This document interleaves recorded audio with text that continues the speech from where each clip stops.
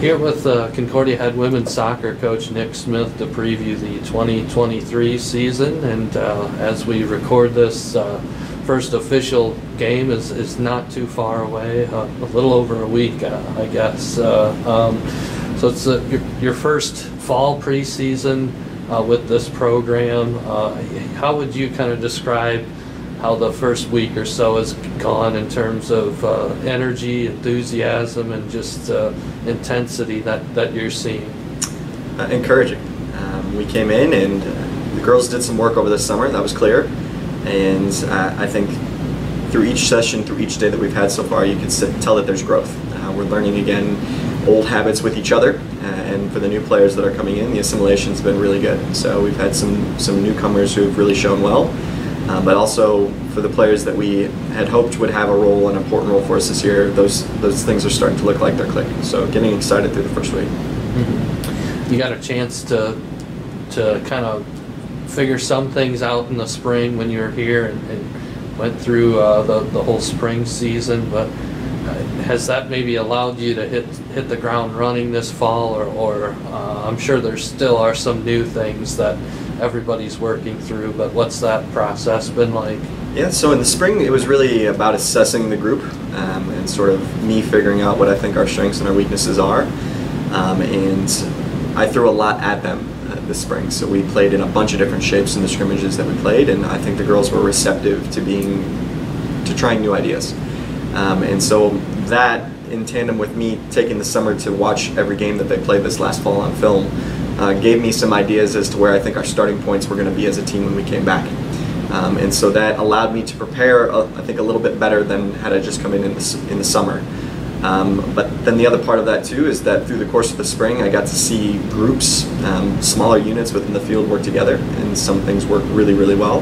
And the idea for me then as a coach is to try and figure out how I can put those into shapes on the field that make the most sense, but ultimately will lead to us being successful, whether on the defensive side or the attacking side.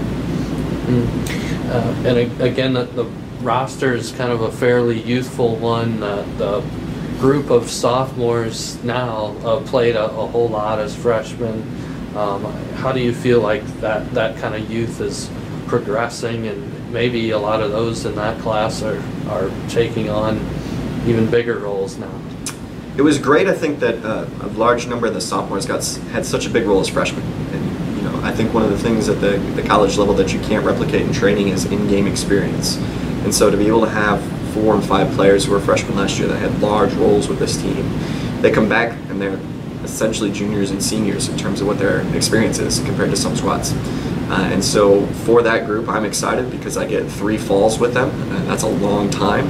But they also get three falls with each other uh, and learning each other, the habits of each other, the tendencies of each other. And I think the more that we can foster those relationships within that class, the, the stronger the team, the product is that we're putting out there on the field.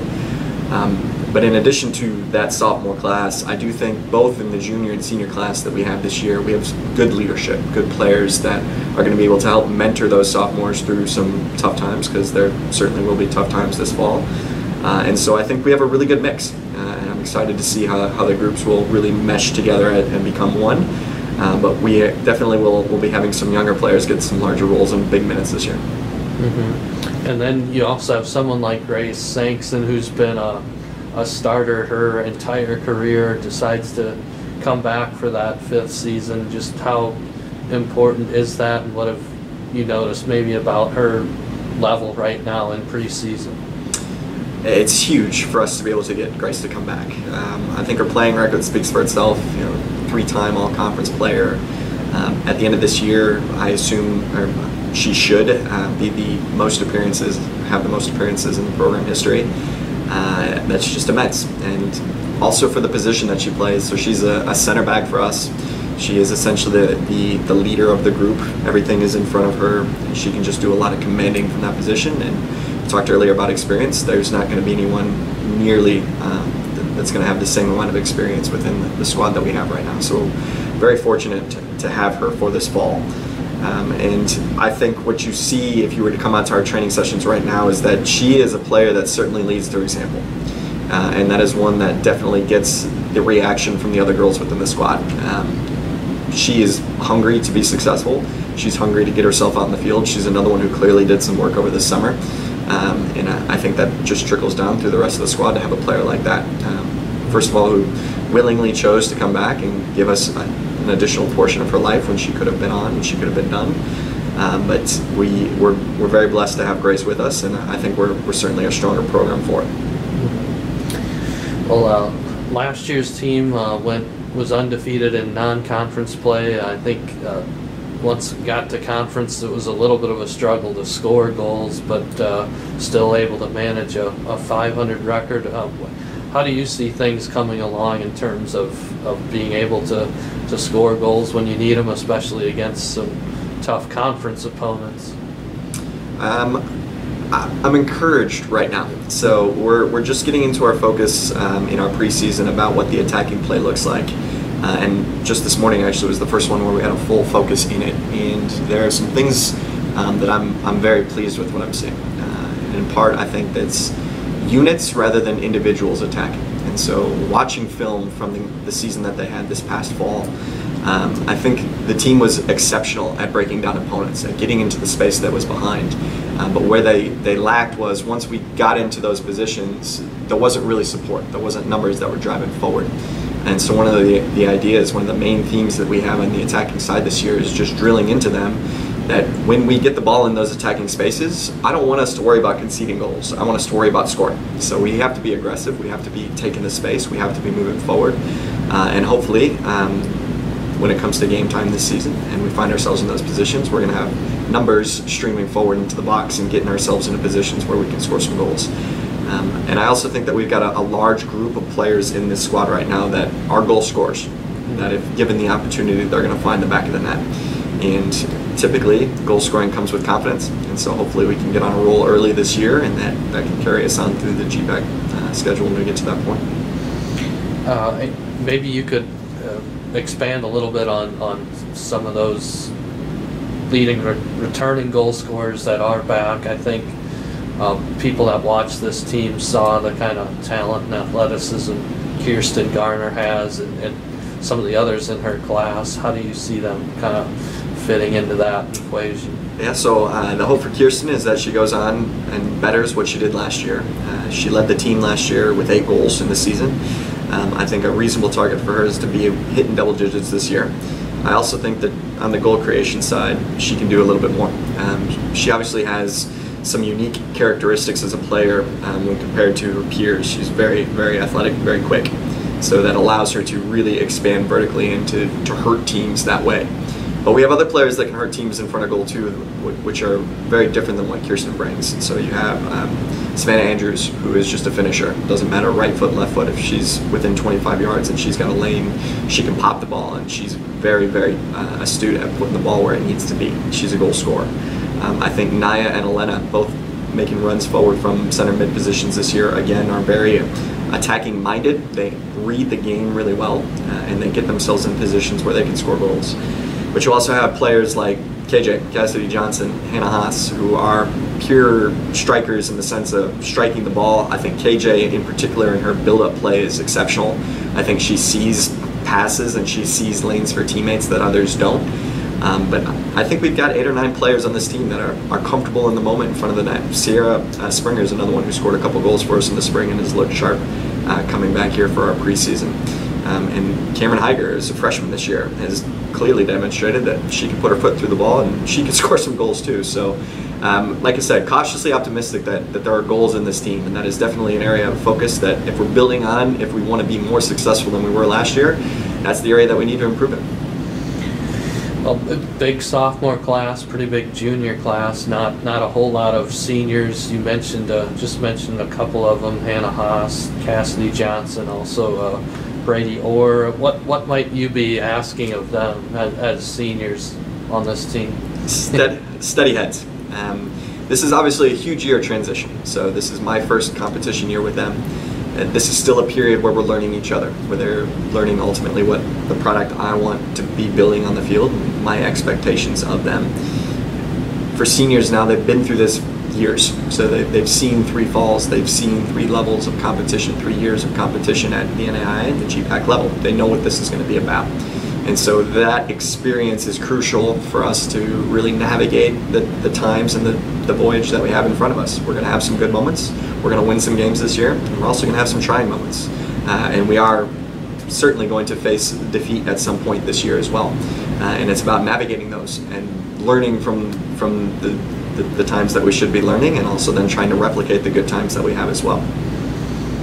Well, in in the spring, you I think you talked about uh, trying out a lot of different shapes and kind of seeing what what works best for for this group. Uh, that that process may still be ongoing in the fall, but are you how how are you feeling or getting a feel for for what what works best for this this group? Yeah, so we we talked about it actually in our first team meeting, um, and reflecting on the summer uh, after we had the spring and, and going through all the games they had in the fall. I've got two general shapes that I think we're going to run with as our primary shapes this year, and then we have a tertiary um, third shape that we're going to be comfortable in as well. Um, the shapes that we're, we're looking at lining up in are a little bit unique. Uh, there's not going to be many teams, I think, that'll line up the same way that we do this year.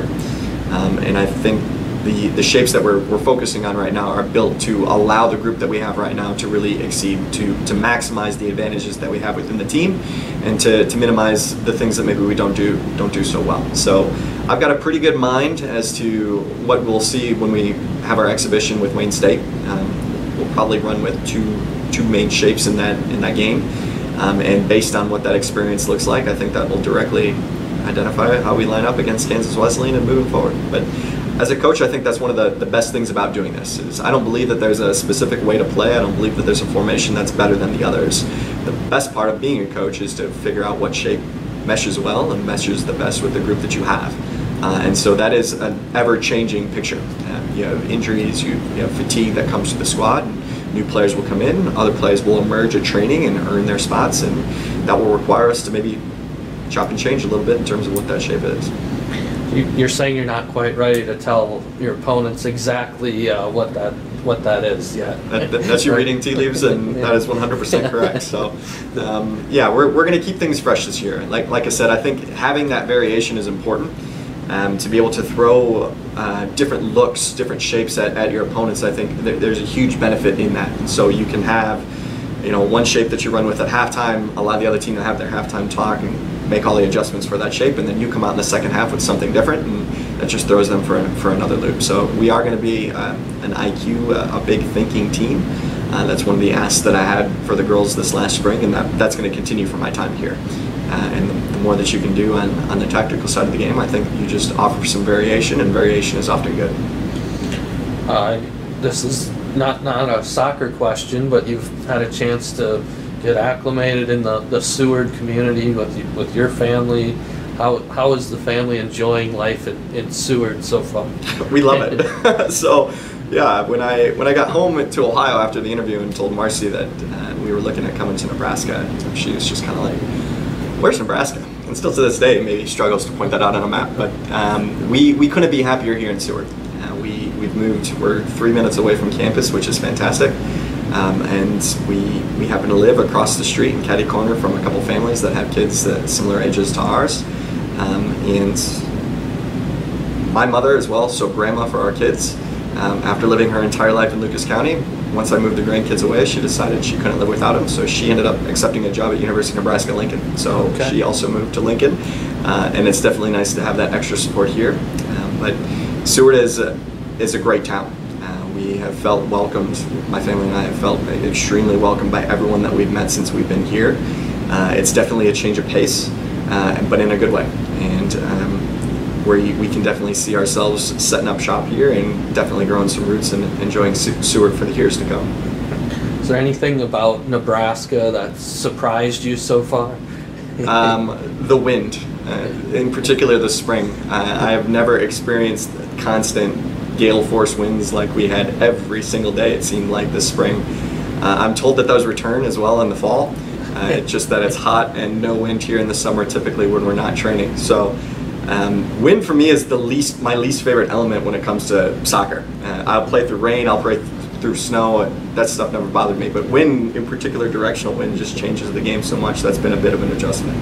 Um, but no, in, there's a, a, lot of similarities um, from Ohio to Nebraska in terms of uh, definitely the weather, the climate. Just the, the wind is the one thing. You're gonna have to factor that in for October and November That's what I'm told. games. Yeah, yeah.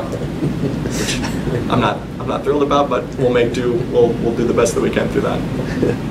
Um, last, what what was the most fun thing you did this summer? I don't know if you went on a vacation or, uh, or I mean, you experienced Seward Fourth of July, right? That was the one. So we were told even when I was interviewing that the Fourth of July here was something different, and you, you hear those stories and you think to yourself, yeah, okay, I'm sure, but it's really a thing here. Uh, to to have the amount of people come through Seward that that came through that Fourth of July, and actually where we live. We uh, were on one of the side staging streets for the uh, the uh, big parade that runs through town.